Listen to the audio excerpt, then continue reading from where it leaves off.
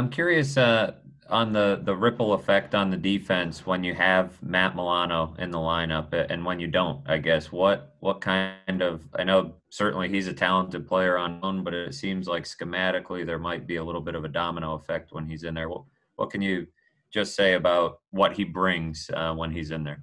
Yeah, I mean, you know, Matt, you know, he's one of the best linebackers in the game. So, um, you know, he cover, he tackle, um, you know, he plays physical. So, um, you know, he's it, obviously not having him on the on the field is is you know, it's uh, we would like to have him back um, as soon as possible. But you know, we always talk about next man up. So, um, you know, it's cliche, um, but you know, that's just you know, that's that's my answer. Obviously, yes, we'd like to have him back on the football field because. Uh, he is one of our best defensive players. But at the same time, you know, we got to be able to still be able to, you know, go out there and execute without him or anybody else for, for that matter. Be out there to go out, uh, be able to go out there and execute our execute our plan.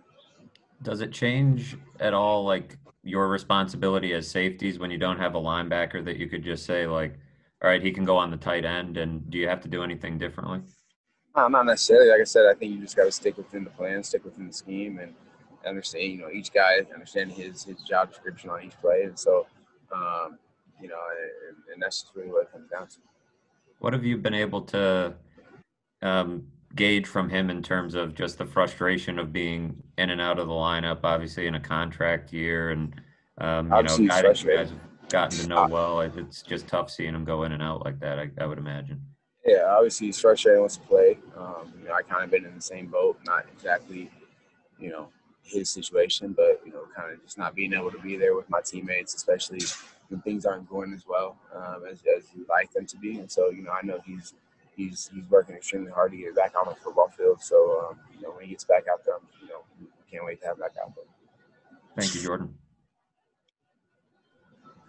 Hey, Jordan, John Scott, good to see you. What's going on, John? Um, defensively, uh, We've seen teams pass on you. We've seen teams run on you with Kansas City. Uh, but Leslie said yesterday, you don't want to do drastic changes uh, because it confuses players, and you want the message to be the same.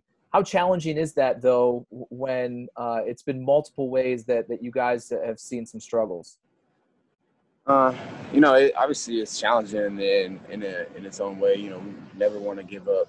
You know, the yards we've been giving up or the points we've been giving up. You know, um, you know, it's, it's this is this is NFL football. You know, this is uh you you go through ups and downs in the season. You try to figure things out.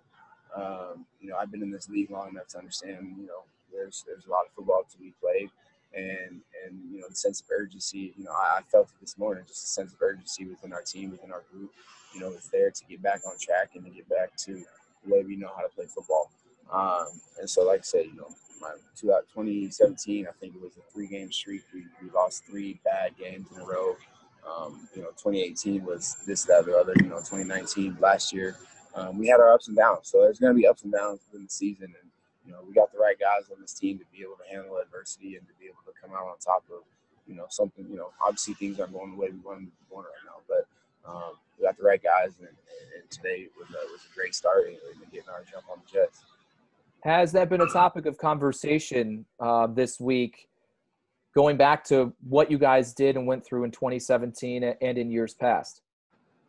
I'm sorry, can you ask that again? Yeah. So, um, has it been a topic of conversation the past 2017 and that stretch you guys went through and, and how you rallied out of it? Yeah, I don't know. I don't necessarily think you know that's been that has been brought up, but at the same time, you know, every every year is different. Um, and you're gonna you're gonna go through adversity. You know, there's gonna be time. You know, within a within a within a week, uh, within a within your game plan, within uh, the game, and, within the season. You know, and so um, good teams find ways to get out of those adversity and get out of get out of, a, of, of whatever you want to call it, a slump or this that or the other.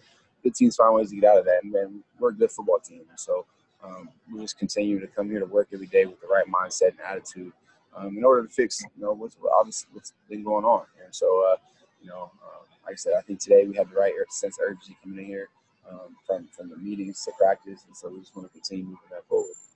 Is it also easier to have that confidence? You'll work your way through it because you guys have been such a high level unit the past two years, and most of you are, are back. Yeah, I think I think our, our guys take a lot of pride and uh, and what they do uh, on and off the field. And so, you know, nobody, nobody's feeling great right now. Obviously, um, back-to-back losses, defense not playing that well, and so.